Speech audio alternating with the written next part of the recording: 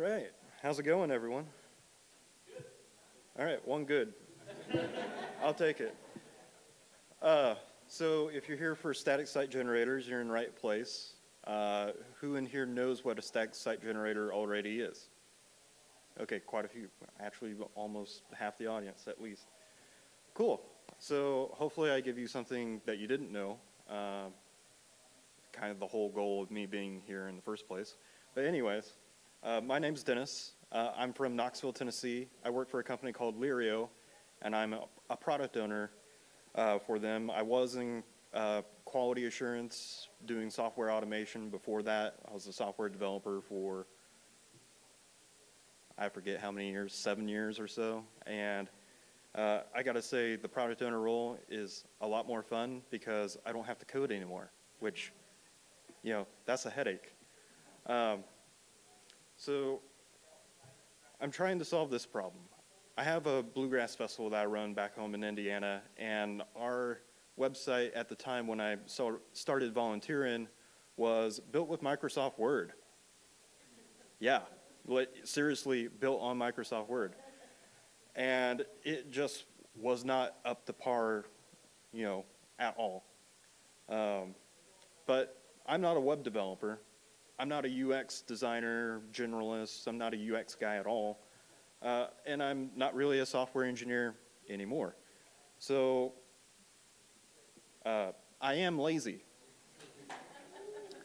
that's, that's my thing. I want to do the laziest thing I can. I have another talk about build automation, and the inspiration for that talk was I wanted to sit on my ass and impress my boss. So I automated the build uh, because I'm lazy. And you can be lazy too. It's okay. Uh, just caveat disclaimer like, I don't feel good at all right now. Like, uh, this whole change in weather has really got me, so I'm a little bit faint, but I'll be okay. Anyways, let's get to it. So, what is Jamstack anyway? So, uh, Mathias, who is the CEO at Netlify, uh, kind of coined this, this term of Jamstack, which is a modern web development architecture based on client-side JavaScript, reusable APIs, and mark, markup. So why should you care? Uh, so to get into this, the barrier to entry is super, super low. It's a lot of value for a very, very small investment. You might not even pay anything to do it. I didn't. Uh, simple infrastructure, less dependencies than like a Microsoft ASP.NET application or something like that. That's a little overboard for what I need, right? And there's tons of uh, resources to get you to the market quickly. So I did say generators, and yes, there is more than one. So Jekyll, Hugo, Gatsby, Hexo, all these things, there's many, many, many, many. There's even one in, written in Haskell who in here programs in Haskell? All right, zero people. That's about right. But, you know, that's the thing. I don't know why. Uh, the last one there on this list, Wyam, is now called something else. Like that changed in the last like month, and I can't remember the name of it. Uh, and I found out about it like today. so uh, that's a little outdated. But are these static site generators actually used in the real world? And yeah. Uh, so Obama's presidential campaign raised $250 million and that site ran on Jekyll. That's kind of cool. That's a big thing. Uh, healthcare.gov switched over to Jekyll uh, in 2013. So these things have been around for quite a, a while. They just haven't really picked up a lot of traction broadly, I guess. Um, and there's some other people that use Hugo too, or a static site generator. So I don't have a lot of time to build a website. Like this is on my free time. I'm trying to build this site. I want to get it done. I got other things to focus on with the festival. A website's the least of my worries, but it is how I interact with my audience. So basically, these are the steps. There's like five steps to actually build a site in a Hugo site from scratch. and it's super easy. And I'll point out number four here, this pick a theme. There's tons of themes out there that uh, you can install uh, or pull into your project and get everybody else's nice CSS because who in here likes writing CSS? All right, why? Why? I thank you because that is the last thing I want to do is write CSS. But I'll definitely use your work, and that's that's what you that's what you get from using a theme. Um, so there's this uh, config file, a Tomlin file, and basically that's the setup of your website. And uh, shortcut here, just copy paste the one out of the example that you download from your theme. That's what I do. And then I change the values to make it actually, you know, my base URL won't be example.com, probably.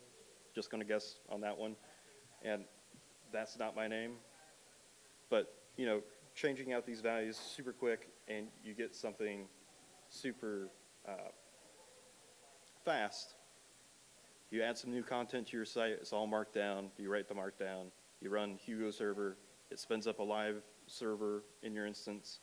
And if you're ready to actually build, you just run Hugo and it builds the site, converts all your markdown to uh, HTML and JavaScript, things I don't really care about, but I know it's super fast, right? And you end up with something like this, which is cool. I made a blog. That's pretty awesome. Not really. Uh, I didn't need a blog. But what if you need like project documentation? Well, just pick a theme that matches what project documentation looks like, right? Super easy. Uh, and then that's cool because you just built a site that's outdated before it was even built, right? Does anybody else have that problem with project documentations already out of date before you even started documenting the project? If no one has that problem, please let me know who you work for. Uh, but you can build other things with this. So this is more like a brochure website where it's just highlighting some kind of product, right? This is kind of more what I needed for uh, for my, oops, I always do that, always hit the wrong key, for my uh, website for this festival. So here it is. It's already like done, right? So if I want to actually see what this website looks like, I can just run Hugo server. It spins up on localhost 1313. And head over here, and then bam. All this running on a Hugo site, and I just downloaded the, downloaded the theme and then tweaked some CSS. It was painful, but I had to tweak some CSS to get the, the colors and uh, the branding for our site, which I had to make up on the fly. But, you know, this is super, super nice because I don't have to stand up a server. I don't have to write enormous amounts of code. I don't have to have a lamp stack or, or a WAMP stack or be tied to some kind of platform or anything. It's, well, I, I am tied to Hugo, right? But other than that, here it is. And, you know, all the UX people in the room are looking at the site going, good God, this is terrible. And I agree, yeah, it needs some help. And this has actually been redone on a WordPress site because somebody else took this over. So more power to them. But, uh, you know, this got us through for that, for that year.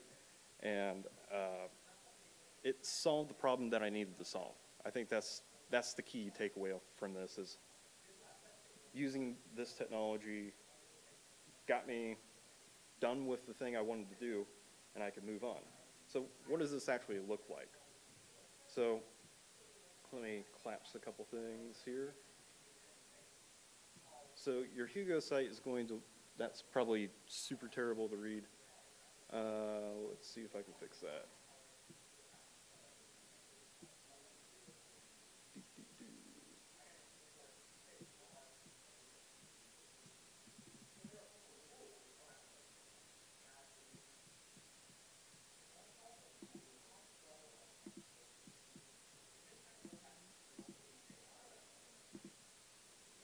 There, that's a little better.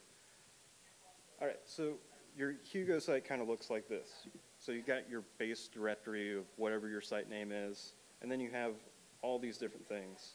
Uh, I'm not really even sure what this archetype thing is, so I'm going to skip over it, and I probably shouldn't have even said anything. But the real meat and potatoes is your content. It takes most of the time building out one of these sites is going to be actually writing the content, not building the site. And uh, there's some tools out there that we'll get into later that kind of help with this, so you don't even have to do that. Uh, you hand it off to somebody else and delegate it, because as a product owner, that's what you do. Uh, but you put all your content in here, and it's just markdown, so it's not super hard. It's just text on a page, basically, with some links and then a little bit of syntax. And Markdown's not hard. to. I feel like I'm preaching to the choir here on what Markdown is, so uh, I'm not going to get too in depth into how the syntax actually works. Um, but in your themes here, this is where the the theme that I pulled in from Hugo from from their um, theme site is, and basically I just configured it configured it in this file here, so you can see that I have all these different parameters set up so that as as the years progress on this site, it's not going to always be the 47th annual fall festival. Next year will be the 48th. The year after that, the 49th. I don't want to go into my content and change that directly, right?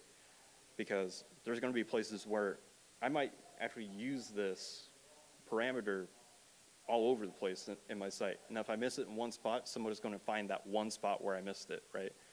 So you can you can make all these parameters and uh, use them throughout your content and specify uh, specify in your content where those parameters are used. So it makes it easier to update that kind of content that's going to constantly change. Uh, so that's cool. I made a brochure site. I made, you know, a blog. I made project documentation. Uh, but can I do something else? So I used to work on a system that was called Oracle iStore. Has anyone ever heard of that? How about Oracle Enterprise Business Suite? Anybody ever work on ERP systems at all?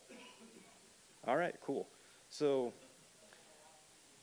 since you haven't, here we go. Um, so this Oracle Enterprise Business Suite had a module within it called Oracle iStore. And what this was, was a e-commerce platform that was built in JSP and Java and uh, a few other technologies too that I can't recall. Uh, but this site for this business was just awful. It wasn't in version control, first of all. It had dead code everywhere. Uh, there was 1,400 custom JSP files all over the place, and no one knew what they were. Um, so I got tasked with make this work. Uh, that was literally the requirement. Make iStore work again. And it was one of those, should I make it work again or should I just replace it? So this was the, maybe we can replace it with something like this. I don't know if that's a good idea, and we didn't do it uh, because I moved on to a different company uh, for several reasons, but this being one of them. Uh, and I wasn't about to try to dig through that monolith of code and try to try to fix it. So uh, I decided, well, let's try this. So basically, I'm mocking up a, a product written in Markdown. And I figured I can probably take this Markdown and, you know, automatically insert it from API calls and then get it that way from the database. But for now, I'm just going to write a, a little markdown page that has basically your price, your title, and a little description of what this thing is. And since I play bluegrass music, I figured, you know, why not use some mandolins? So I, really, I just ripped this off of like Guitar Center or something and use their content for my proof of concept. And I did that with another product. So I have two pieces of markdown now for uh, two different products. Now, I'm, with this example, we were a .NET shop primarily, which is odd because I was a Java developer working in a .NET shop. But uh, so we decided we would go with that Wyam solution, which is something else now that I cannot remember the name of. And basically, this would work in any kind of whatever your underlying static site generator is, whether it's Hugo or Jekyll or whatever. But what we're doing here is we're adding products in this pipeline. And what I'm doing is I'm reading all those product files, all those markdown files in, and I'm loading everything up and writing these out to HTML. So when I scan through this folder with all these products, it reads all that markdown and it will convert that to HTML for me when I build my site, which is super nice because it, it's kind of like we've gone backwards in time, right? Because who here was writing websites back in like 94, 95, 96? So a lot of editing HTML by hand, right? And then we kind of got into the, well, let's build it with a framework. Like, let's use Elm or, uh, well, Elm's pretty recent, but let's use uh, ASP.NET and all that. And then I was like, man, this is big and bulky and heavy, but it does the job. It's a different way to solve the problem. And now it's kind of like, well, let's go back the other way. So it's like a pendulum. We're swinging back and forth in, in between these ways to do it. Um, and, you know, I, now that I have this, this HTML, I need to actually display this in a list of products. Uh, so this is a way to do that. So for each product that's uh, there, basically pull the properties out of, out of that markdown and put it into my HTML code where it makes sense for whatever, whatever divs and classes that I have. So, you know, HTML. Don't have to explain much more than that. Um, and I also needed a way to display just one single product. So really it's just the same thing where I'm pulling that metadata out and displaying, putting that into uh, just a small snippet of HTML code where if something went wrong, I could change it really quickly. If something was right, then it's really easy to understand what this thing does. Uh, it doesn't take me, you know, 20 minutes to actually read through a, uh, something in .NET and understand where all these pieces are going. This is just, here it is, right? These are all parameters within the, the, the template. So after a half a morning without coffee, uh, I came up with something that looked kind of like this, just based off of, you know, it was good enough, right? Like, yeah, we could, like, this was better than the solution that we had at work, which is really sad because this isn't super great or fancy or anything. I can't even buy anything off of this site, and this was better than the solution that we had at work. Like, that's how bad it, the experience was. Um, so when people saw this, they're like, oh, you mean we could make our store look kind of like this? I'm like, yes, right? Uh, and it drummed up some excitement. People got like really curious on when do we do this? It wasn't a question of if, it was when do we fix this problem? And this, this store was used for our B2C, or our B2B e-commerce. We had a different, we had a Magento solution for B2C, but the B2B e-commerce platform for that business was 14% of the revenue for the year. That was a lot of money coming in. And granted, yeah, it's B2B sales, but if you if you think about it for a second, your B2B person who's trying to order stock for their store, their last thing they want to do is order stock for their store. They want to serve their customer, right? Now, that includes ordering stock for their store, but that also includes running the register, being in front of people, answering questions, getting their marketing done to bring customers into their door. So if they're having trouble navigating through this website to get product from you, why should they buy product from you? Because they can go to your competitor, there's nothing stopping them.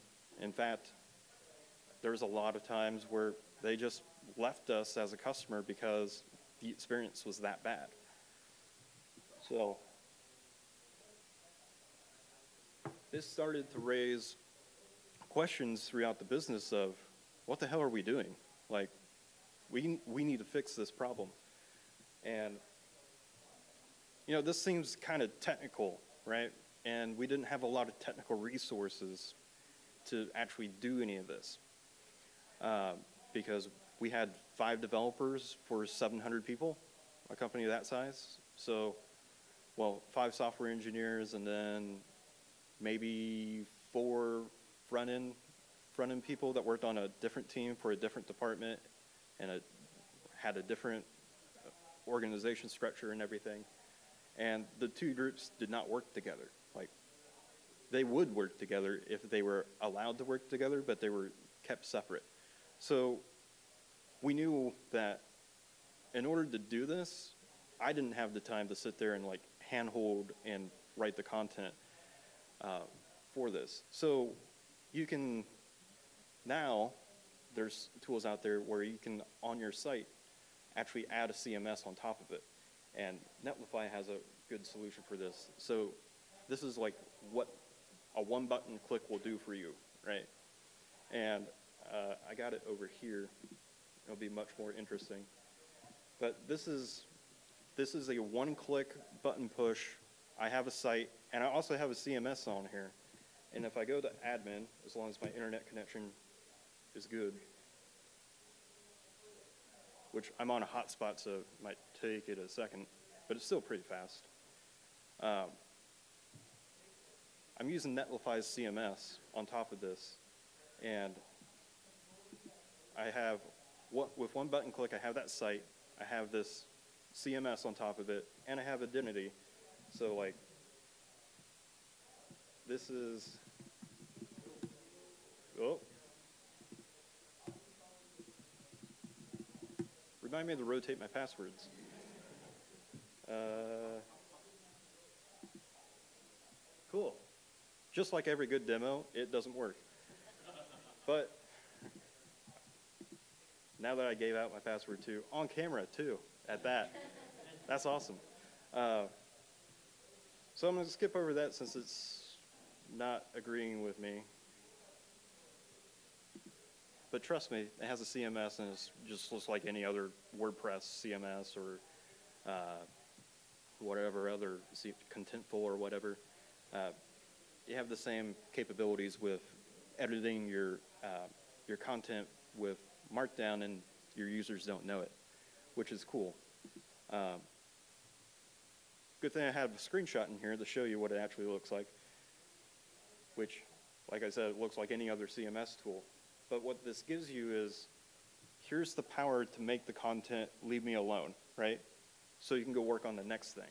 Because the, I'm, I'm sure all your time is more valuable spent working on anything but content.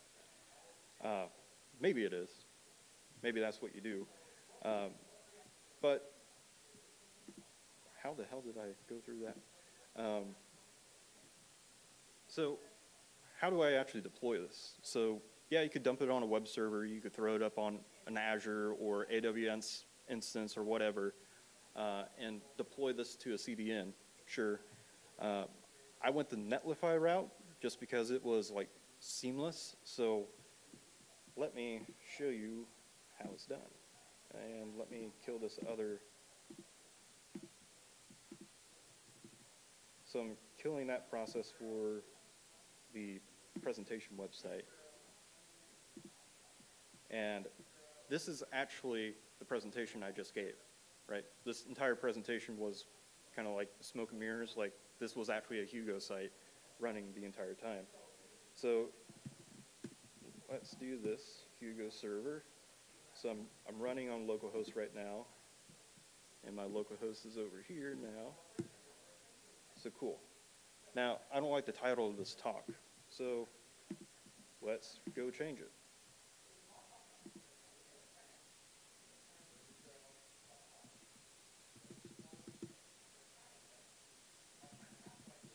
Let's get some jam. Now I'm going to commit this. Bam, I'm committed. I'm going to push this up to my master branch on a, uh, GitHub repository. And if I'm quick enough, uh, there it is. So we can see now that I'm building. So what's happening here is there's a, a Git hook uh, here where Netlify is looking at my repository and detects a change. And it goes, oh, there's a change. Let me auto-publish that for you. So it runs through here. It actually does the build process for me and deploys my site. All with me just making a commit. Um, fun fact, when you're connected to your CMS and you save that content, what you're actually doing behind the scenes is you're making a commit to your, your Git repository. So now your content is actually versioned, which is super awesome because guess who makes a lot of mistakes all the time other than developers? Content writers. Yeah. Uh, I know because I was one. And uh, I misspelled a lot of words that ended up being profanity. So that was kind of bad. And I found out when I did it, and then I realized, oh, that's after I had like five scotches. Let's not do that again. Thankfully, it was like my own stuff and not like the company stuff, because that would have been bad. Would have got fired for that. But anyways, this thing deploys and it's live right now. So when I go here and reload this, oops.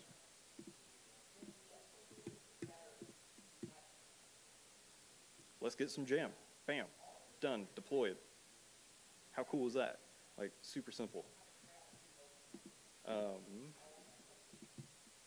but, you know, I wanted to go do something else after this. And the, the thing that I found at this festival that, you know, I built this site for was I get in this jam session and I didn't know what the lyrics for a song were or what the chord progression was for a song. I'm like, man, it sure would be nice if there was just like a super quick site because keep in mind too, I'm out in the middle of nowhere in Indiana, and there's like a bar of reception on a good day, like a really good day. So, you know, internet speeds are super slow out there, and uh, you also have another 2,000 people at the same festival hitting that internet connection all on the same mobile carrier because AT&T is like the only one that actually works out there. And so, you know, I needed to retrieve this information and doing it on a lot of different other sites was super painful and everything. So I figured, oh, well, what if I just make a Jamstack site with this content on there and then it's, you know, I have control of it, I can deploy it, it's for me, you know, and it was really cool to build this because it was like kind of a, a mesh between my hobby and my job and my, my geek and my musical tastes, right? So when I'm out there, you know, this looks really good on the phone. Uh, that's another thing with a lot of these things is they look super good. But, you know, if I'm out there in a jam session, I'm like, oh, we're going to play Easy Chair? Okay, well, how's that go again? Well, now I can just pull it up on the phone and be like, oh, got it, and then put it away.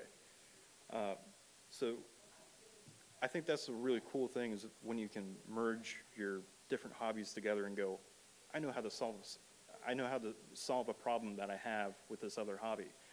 Uh, so maybe stat site generators are, you know, a thing that you could do too for, you know, for, I don't know, your knitting club. That's all I can think of right now. How many people are in knitting clubs? I'm not sure if that was serious or not. Um, you know, that's a, a super quick introduction to static site generators and how they work um, and what they do. And because this is HTML, super fast. And JavaScript, super fast. So not a lot to worry about as far as speeds and times and that. And I'm sure there's things you can do, caching and stuff that you could do to improve site times. Uh, but that's just about all I had. If someone wants to come up here and like actually tinker around with any of my sites, that's cool. Uh, if you got any questions, that's cool. Uh, so Jamstack Radio is a podcast that's uh, pretty good. Uh, it's been maybe a month since I've seen any uh, episodes come out, uh, but they get into things like using GraphQL. So remember, I had all those product pages written in Markdown. You could pull uh, pull those items for your product with GraphQL, and then just there they are. You don't even have to you don't have to write it down in Markdown. Just pull those in from APIs and stuff. So that's the thing I want to tinker around with later and uh, wrap my brain around how that actually works. Um, and also jamstack.wtf, which is a real web domain. I didn't know that until I found it. I'm like, WTF? That's real? And then, you know, WTF and WTF. Anyways, I'm really bad at with puns. Uh, but there's my blog, also a static site, and uh, my Twitter. Uh, so I'm going to leave you with, with this. Um, the whole reason I got involved and uh, started speaking was because at a conference in Huntsville, Alabama called DevSpace three, three years ago, um, I was with a friend and he brought me along and he was speaking there. And I met all the speakers after their speaker dinner. And one of the other guys, his name was Brandon, uh, asked me, So, what are you talking about? And I said, Nothing really. I, I, I don't have anything to say. I'm, I'm just here. And like all shy and all that. And he's like, You don't have anything to say? That's simply not true. Like, this guy had no idea who I was. And he just matter of factly said, That's not true. And it took me aback. I'm like, How do you know that? right? And he said, What are you working on right now? And I was working on builds for Oracle and automating that build. And I started telling him about it. And he's like, I, I don't actually care. Just go write a talk about that and go give it. I'm like, okay. I don't think I want to do that. And then over the course of the conference, it was like, I think I want to do that. And I tell you, that five minute conversation that he had with me absolutely changed my life. Because before I would get up, go to work, go home, go to sleep, get up, go to work, go home, go to sleep. That's all I did. And I, I realized that was a problem uh, when I woke up one morning, went to work, and realized, oh, there's nobody there. Oh well. Pop back up. Okay, it's time for lunch. Still no one here. That's weird. Went, got lunch, came back, went back to work. There's still no one there. Just worked, and it was about two o'clock when I actually like stopped and thought about it. It was Saturday. I'm like, well, might as well finish out the day, and, and that's what I did. And it was absolutely like one of the lowest points of my life was right then. And so I went home. I was sitting on the chair. This is the next lowest point, point of my life. Sitting on the chair, drinking a beer, just like slumped like this. And my dog is behind me, and I didn't know it. I'm just watching a hockey game, and I go to get another sip in between periods, and there was no beer left. And I had just opened it. And then I looked down at my dog, and my dog was drunk because he drank all my beer out of my bottle. And I went, What the hell am I doing with my life? And then I remembered this conversation I had with Brandon. I'm like, you know what? I am going to write that that talk. And so I did, and you know, meeting people at conferences and stuff has absolutely just transformed my career. I went from, you know, a job where I was burnt out, I didn't care, I just wanted to do the thing, go home for some reason, and then go back to work. And that's all I did. And after that point, when I actually started getting involved with the community and talking to people, it was like, no, I want to make this place better. I actually have ideas and things to do here where, and I also have a life outside of this where I need to do something else. Because if I keep on working like this, I'm going to die of a heart attack. Because I saw people, like, that's happened to people I worked with. They literally died of a heart attack and it was stress induced. And, you know, that's a really scary thing. So always take care of yourself. Always, you know, make connections and meet with people and talk to them. And if, you feel like you don't have a story, you're wrong. You do have a story, and you should go out and share that story with somebody because you might end up impacting someone's life and turning their whole life around in a good way, right? So that's my challenge to all you. Go forth and share your story. And that's all I had.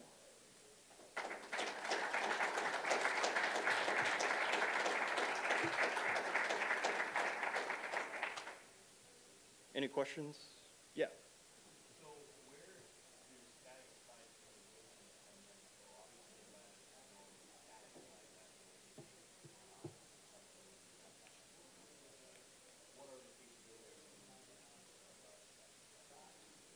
So one of the limitations is this is static content that's being served, right? It's all, uh, at the end of the day, it's all compiled HTML. So,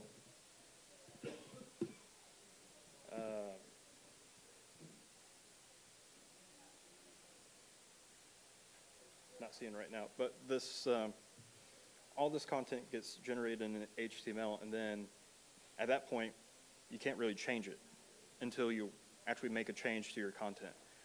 Now, one thing that you could possibly do is make external API calls out to some kind of data source, like using GraphQL uh, or something, and pulling that data in so it's still static content, but you're dynamically changing. It's static HTML, but the content within is actually dynamic, where you're pulling that from API. So um, really what this gives you is the ability to templatize most things and to structure it in such a way where uh, the underlying foundation of your site is always there, and then you could pull in different content. So I don't know if it's a good idea to actually build an e-commerce system from scratch with this. I would probably use somebody else's e-commerce system like a Shopify or Magento or something. But uh, you know, for a proof of concept thing to like get it into somebody's brain, this is super quick. I mean, it was half a morning to actually do. Uh, that kind of sort of answer the question? Yeah. Um, I'll, you know, I'll, I'll have to think about that. I'll have to figure out what cipher I want to use based on the, the keynote. Maybe I'll just do a, I'll probably just do a Caesar cipher. Yeah, so that's cool. Reminder to myself to actually change that because I forgot about it until you brought that up. So thank you. Any other questions?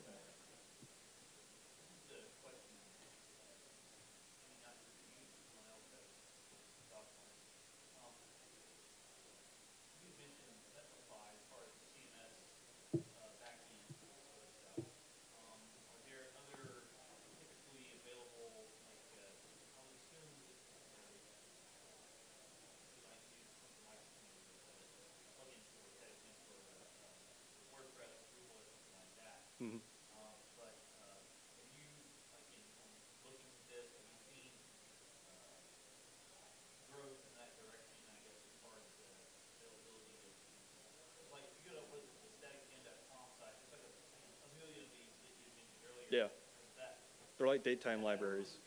I don't really see a lot of, uh, you know, you say press, but I don't, I don't see a lot of people, oh, tweeting out, hey, you can do this, this.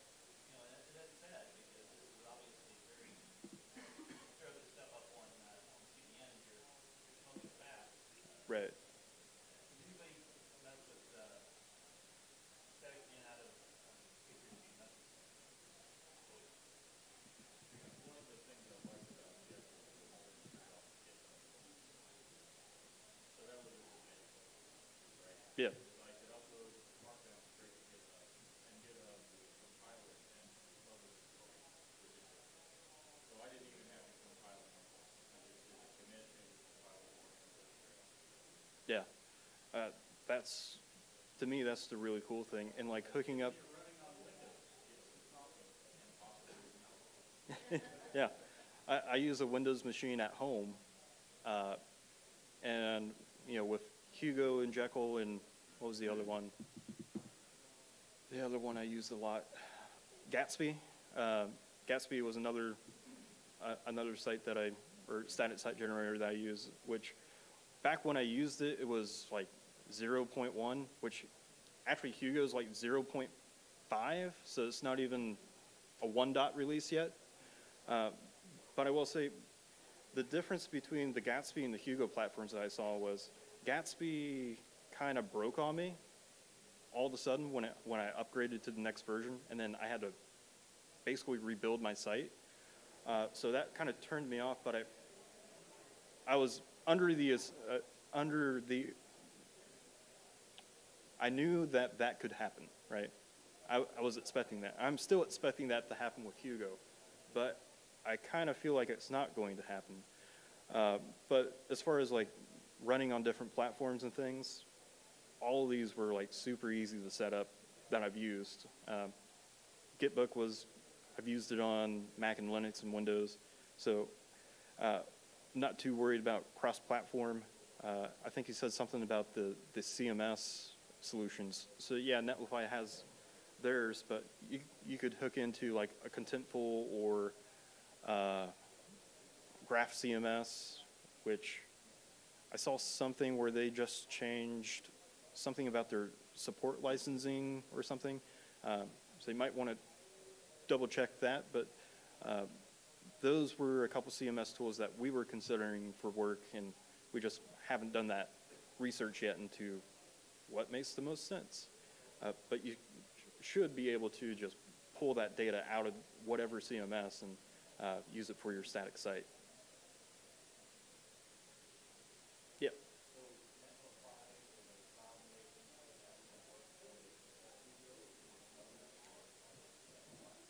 So Netlify uh, is a CDN, but they have a CMS offering, um, Netlify CMS. And I think this is the right site. Um, so Hugo is one of the options. Uh, I went with that just because I'm comfortable with it. Uh, but they also have CMS built on top of uh, Jekyll, or sorry, Gatsby. So this is literally a one-click deploy. So that coffee uh, business thing that I showed was literally, I clicked this button and that's what happened. It gave me all that. It set up a Git repository for me. It set up the identity for me. It set up the CMS for me. It set up the deploy for me. Uh, what's that? And yeah, and they host it for me. Um, so they're more than just the CMS. They're this, this whole CDN, this whole build pipeline. Um, and they also have, uh, you can get to your um, HTTPS certificates and stuff. So um, they'll, they have a hook in with Let's Encrypt, so you can get HTTPS everywhere, uh, which is super awesome. They make that super painless to do. But I think we're probably out of time. Uh, I will be around, so if you got any more questions, let me know. And uh, thanks, everyone.